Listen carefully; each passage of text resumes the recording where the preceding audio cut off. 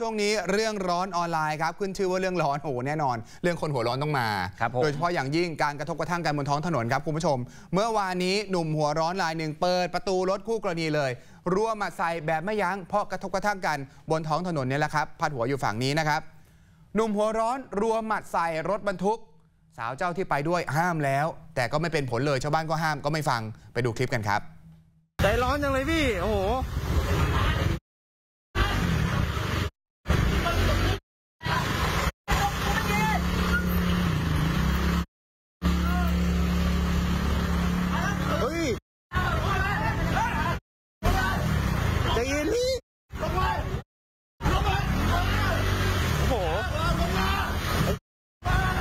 ไม่หยุดด้วยใจเย็นใจเย็นใจเย็นไม่เลิกทำเขาเลยโอ้โห มันร้อนแรงอะไรขนาดนั้นนะฮะ นี่ตอนแรกเหมือนจะเจรจากันเฉยๆนะ แต่ปรากฏว่าเปิดประตูรถเขาหมัดขวาเปิดไป หมัดซ้ายตามมาหลังจากนั้น ซ้ายขวาซ้ายขวาซ้ายขวาเลยฮะเย็บไม่หยุดเลยอะ หนุ่มเสื้อขาวหัวร้อนขนาดหนักครับ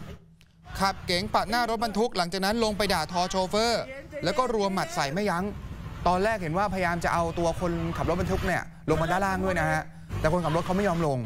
เขาก็นั่งอยู่บนรถปรากฏโดนรัวหมัดข้างบนนั้นเลย ชาวบ้านที่เห็นเหตุการณ์พยายามที่จะตะโกนห้ามนะครับ ส่วนหนึ่งถ่ายคลิปเอาไว้ก่อนเป็นหลักฐาน พยายามบอกพี่ใจเย็นๆใจเย็นๆทำไมต้องทำรุนแรงแบบนั้น ไม่ฟังเลย ช่วงหนึ่งของคลิปคุณผู้ชมจะเห็น มีคุณผู้หญิงท่านหนึ่งเดินตามไปฮะ ผู้หญิงคนนี้มาด้วยกันกับคนก่อเหตุนะ พยายามจะเข้าไปห้าม โอ้โห เดือดต่อเนื่องครับ ไม่เบาลงเลย สุดท้ายเนี่ยเหมือนต่อยจนหมดแรงอะ่ะต่างคนต่างแยกย้ายกันไป คลิปนี้ถูกแชร์อยู่ในเพจเฮียขับรถนะครับ ขึ้นข้อความบอกว่าร้อนอากาศมันร้อนโอ้โหแต่ก็ไม่ร้อนเท่าคน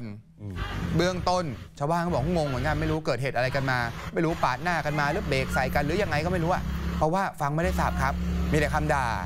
แต่ประเด็นคือห้ามเท่าไหร่ก็ไม่ฟัง แล้วทำร้ายร่างกายกันแบบนี้ ผิดกฎหมายแน่นอนนะครับ ชาวเน็ตก็เข้ามาตำหนิกันเยอะนะฮะบอกว่ามันรุนแรงไป จะผิดจะถูกก็ไม่ตามตำรวจก็ตามประกันนะแค่นั้นเองอะอืมเรื่องกระทบกระทั่งบนท้องถนนนะครับครับแต่พผมฤติกรรมแบบนี้ผิดกฎหมายชัดเจนครับ ครับผม ข่าวช่อง 8 ครบเครื่องเคียงข้าง ครอบคลุม